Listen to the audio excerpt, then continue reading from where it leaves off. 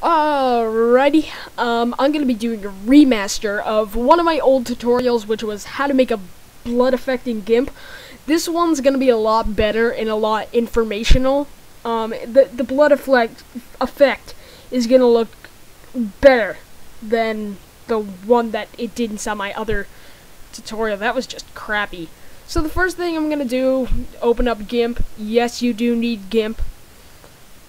Um, the first thing I'm going to do is open up GIMP. I'm going to go File, New, um, Template. You can select 800 by 600. Doesn't really matter what size. Whatever size you want your image to be. I'm just going to use 1600 by 1200 because you can always resize it. And I'm going to go Advanced Options. Um, you don't have to do this, but I'm gonna. I'm going to select Transparency. I find it's a lot easier. And I'm just going to press OK. Alright, so now that you have this open, you're going to press Control, hold down Control, and press L. It opens up the Layers menu. You're going to right click and you're going to press New Layer. You're going to name this layer Blood and make sure it's transparent. Press OK. Place it above the background. Alright, oh, my back. Oh, my back. Okay, so now you can go to the spray pool tool, tool, the airbrush tool. This is not a swimming lesson.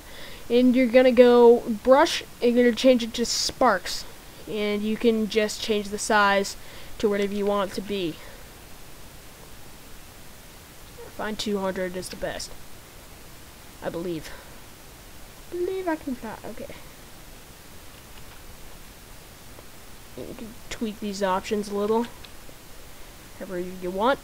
So I'm just going to do this. Now basically just airbrush it. As you can see it's yellow, but don't worry. We can change that easily.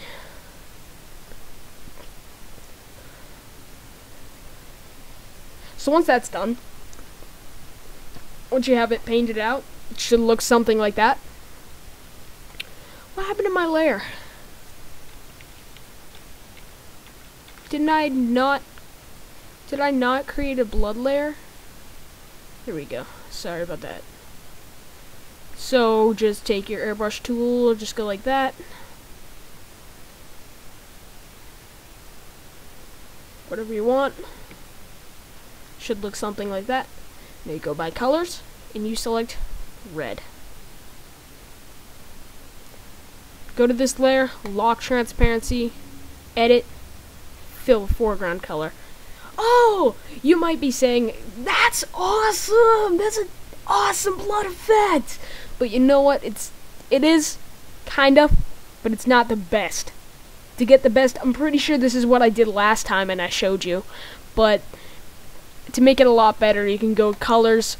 Make sure you have make sure you unselect lock transparency. You need to have that selected when you fill with foreground color, and you need to have that unselected when you're you're gonna do what I'm about to show you. So you unselect that, make sure that's unselected. Click on the layer and go colors all the way down to curves. Presets. Oh, oh, oh, oops. Sorry, I did that completely wrong. Channel. Alpha. Now you want to move this a little to the left about right there. Now again, you might be saying, that's awesome! But you know what? It can be better.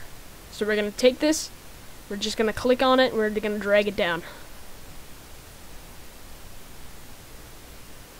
This looks like cartoonish. This kind of looks like kind of real. You can basically just mess around with the settings any way you want to. Kind of looks more like paint, but it's like it's good for like a blood effect, for like a, a screen or something, like a death screen. Now you can go to your regular background, just paint it whatever you want. White. Black.